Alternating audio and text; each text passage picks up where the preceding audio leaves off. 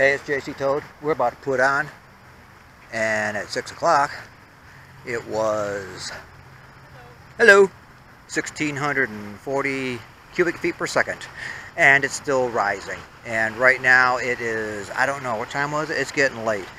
Uh, 8 o'clock, 7.20, 7.20, 7.20. So it was at 1640 an hour and 40 minutes ago, and it's still on the rise.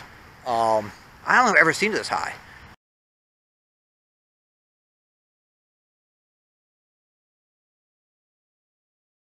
We're down right now at um, uh, the old Jaycee Park. And uh, you can see right here it's just flowing right over the banks. It's going down into the floodplain. And that's why it's called a floodplain people and you don't go in there. And you don't build houses in there especially. Um, like I said this is a trail. They, those guys just came riding down the path here. I could have put them back here if I wanted to but I wasn't it's kind of steep on the other side. I didn't know if it actually went all the way through but it does.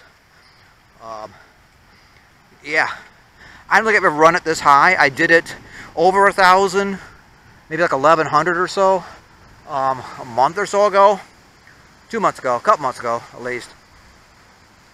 I don't know. We'll see what happens. This could be pretty damn crazy. Uh, I know this river well enough and stuff, unless there's some humongous log jam um, that will basically kill me, um, it should be a piece of cake. So I hope for no big ass log jams.